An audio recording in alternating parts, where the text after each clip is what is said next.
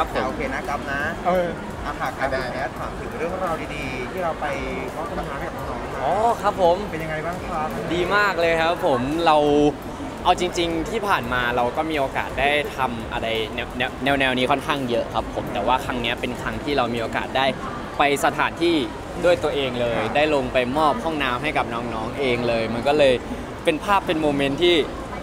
เออเราไม่เคยเห็นภาพแบบนี้มาก่อน เราเคยเห็นภาพแบบนี้แค่จากผ่านในรูปภาพ ไม่เคยได้เห็นภาพของจริงพอได้เห็นของจริงเรารู้สึกมันทัชใจทัชใจเรามากแล้วรู้สึกดีใจมากๆ ที่ได้เป็นส่วนหนึ่งในการทำบุญครั้งนี้ให้กับน้องๆด้วยเองครับอันนี้อะไรนะครับทำไมถึงอยากลงไปเองครั้งนี้ครั้งนี้ว่างพอดีครับรอให้เลยใช่ครับผม ที่นี่โรงเรียนนี้อะครับ คือมัน มาจากคุณพ่อครับผมคือคุณพ่อเขามีที่อยู่ที่ลาดบุรี แล้วคุณพ่อเขาปลูกบ้านตามสไตล์ผู้ใหญ่แล้ว คือแบบอยากมีบ้านสวนอยากมีอะไรอย่างนี้ แล้วกลายว่าเขาไปเจอ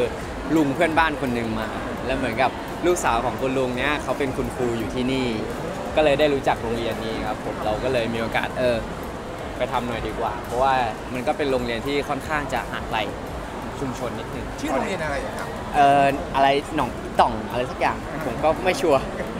เออหนองไก่ต่องเอ่ออะไรสักอย่างผมก็ไม่ไม่ชัวร์เหมือนกันครับผม พอพอไปแล้วเห็นเห็นกับได้พูดคุยกับทางคนในพื้นที่ด้วยเหมือนกันครับ เขาเขาเล่าอะไรให้กับฟังบ้างอะครับ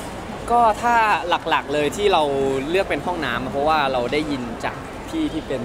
ลูกสาวของคุณลุงครับผมคือตึกอาคารเรียนเนี่ยเขาจะมีอยู่ทั้งหมดประมาณ 3 ตึกครับผมแต่ห้องน้ำอะมีอยู่แค่ตึกเดียว เพราะน้องๆแบบที่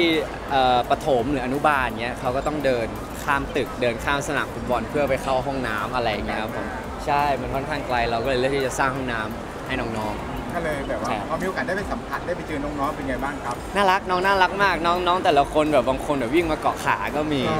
อะไรอย่างเงี้ยแบบน่ารักครับเขารู้จักเราไหมเขาจำไม่ครับจริงเหรอคือน้องน้องเขาก็รู้อาจจะแค่รู้แหละว่าเราเป็นดารา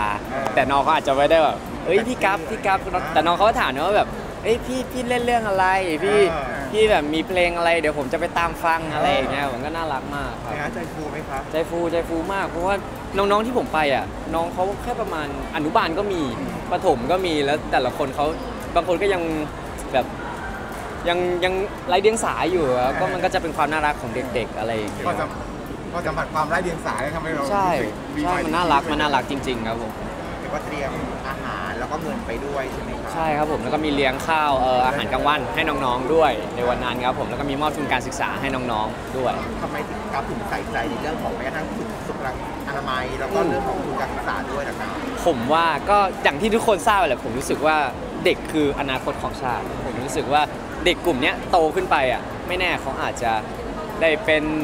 อะไรก็แล้วแต่ได้เป็นคนใหญ่คนโตได้เป็นอะไรก็แล้ว แต่แต่เราก็รู้สึกว่าเออเรามีโอกาสได้เป็นส่วนหนึ่งแล้ว ที่ในการผลักดันให้เด็กเหล่าเนี้ยเขามีอนาคตที่ดี การที่คนบันเทิงลงพื้นที่ไปอาจจะน้อยมากๆครับที่ว่าการไปครั้งนี้จะช่วยเป็นแรงบันดาลใจให้เขารู้สึกว่าอยากจะเป็นแบบกราฟหรือว่าอยากจะทำงานอะไรแบบนี้บ้างไหมครับก็ถ้าถ้าได้เป็นแรงบันดาลใจให้น้องๆ ใช่ไหมครับ ก็ก็ดีใจก็ขอบคุณน้องๆ มาก ๆ แต่ก็นั่นแหละอยากให้น้องเลือกทำในสิ่งที่ตัวเองชอบละกัน เลือกทำในสิ่งที่ตัวเองชอบหรือว่า แล้วก็เลือกในสิ่งที่ชอบนั่นแหละต้องเป็นคนดี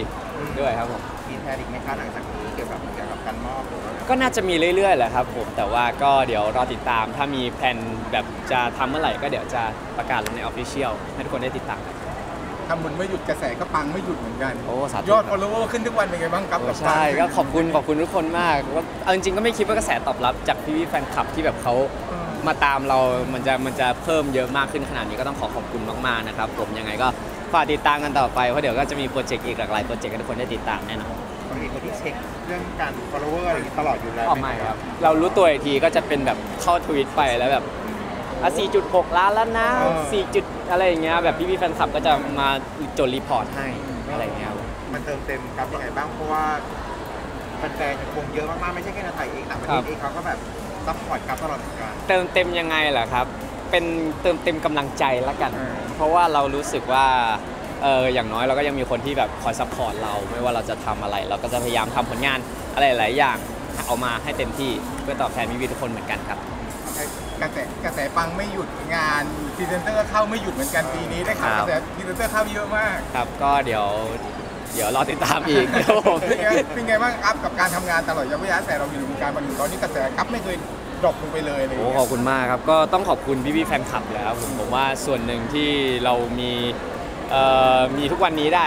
ที่พี่แฟนคลับส่วนใหญ่เป็นหลักเลยครับผมก็ต้องขอขอบคุณทุกคนมากๆที่อยู่ข้างๆกันทำให้แบบเราอยู่มาได้จนถึงทุกวันนี้ครับอย่างปีนี้ยังมีพรีเซนเตอร์กี่ตัวที่จะเข้ามาอีกครับ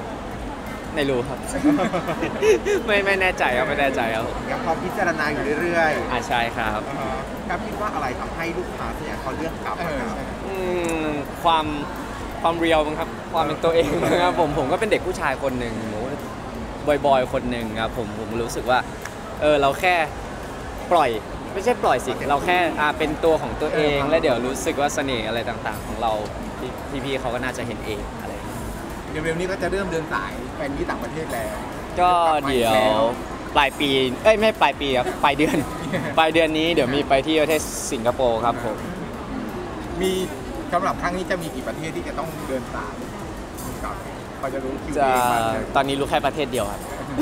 เตรียมตัวเป็นไงบ้างกับกับ moment ที่การเดินสาย fan meet กลับมาอีกแล้วอะไรอย่างเงี้ยก็เออมันมันก็เป็น moment ที่คิดถึงแล้วกันเพราะว่าอย่างปีที่แล้วเราก็เดินสายเยอะมากแต่อย่างเอ่อประเทศสิงคโปร์เนี่ยปีที่แล้วยังไม่เคยมีโอกาสได้ไปครับผมปีนี้ก็เป็นครั้งแรกที่ได้ไปก็ฝาก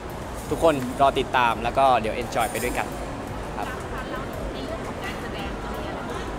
การแสดงใช่ไหมครับผมก็มีคุยคุยคุยคุยคุยคุยเรื่อยๆครับผมก็นั่นแหละครับถ้าอะไรลงตัวหรือว่าทุกอย่างลงตัวเมื่อไหร่ ก็เดี๋ยวจะมาประกาศให้ทุกคนได้ฟังอย่างแน่นอนครับอะไรคะละครภาพยนตร์ซีรีส์อะไรนะไม่รู้เลย ตอนนี้ใครคิดถึงก็ดวงใจเทวภูมิไปก่อนใช่ยังใช่มีเข้ามาแจมอยู่เสมอใช่ครับผมใจพิสุทธิ์ร้อนอยู่นะครับ ติดตามได้เออมโอเคโอเคนะครับขอบคุณมากครับขอบคุณมากครับขอบคุณครับ